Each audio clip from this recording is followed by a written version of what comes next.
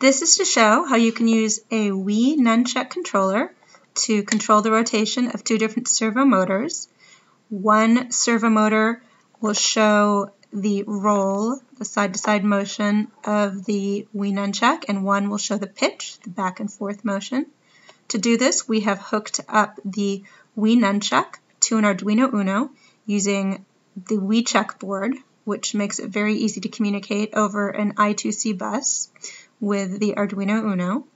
These signals are then processed, converted into roll and pitch, and sent to the servo motors via pins 10 and 11 of the Arduino Uno. We have power over here in this battery box, and it's off right now because the servos are pretty noisy, and there's a fair amount of jitter, which I haven't been able to totally eliminate, some of which is probably due to noise from the uh, accelerometer when I rotate the nunchuck.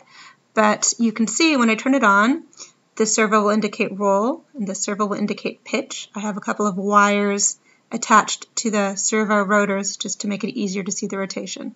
So let's turn it on and take a look. Here we go. Here is the roll.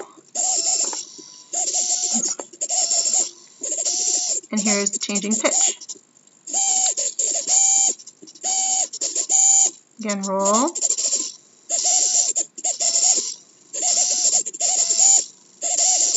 and pitch.